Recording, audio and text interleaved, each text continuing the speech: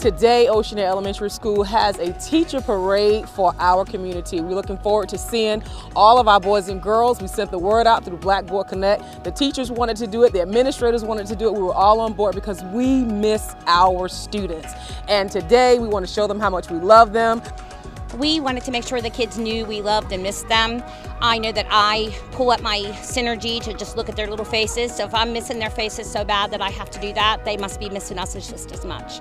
So I wanted them to be able to see us and know that we're okay, we're healthy, and we love and miss them.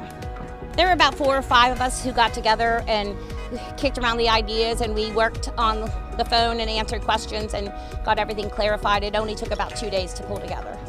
I was super excited. Um, I've been on maternity leave since uh, January, so to be able to come back and see my kids, hopefully, and um, they can see me, uh, means a lot to me.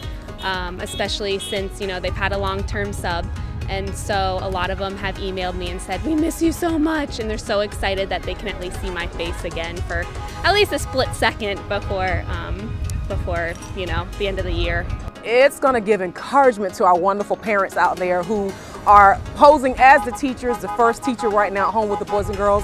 It's going to encourage them. It's going to encourage the boys and girls as well because we want them to know that we care. I just hope that the kids know how much that we're here for them and that they they know that we love them and that if they need us, we, we're here and we've got their back.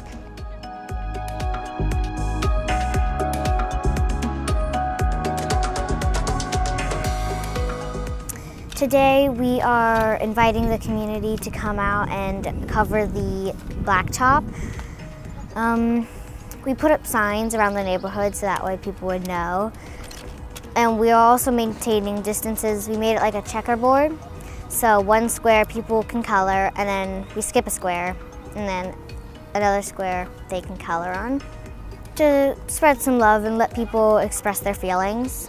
I had colored my walkway up to my house and we were here riding our bikes around and I mentioned it and then my friend Lennox was like, what if we colored the blacktop? And uh, my other friend Zoe was like, we can't do that by ourselves. And so we decided to put up signs around the neighborhood and let them come. Why is it important to do something fun like this during this time?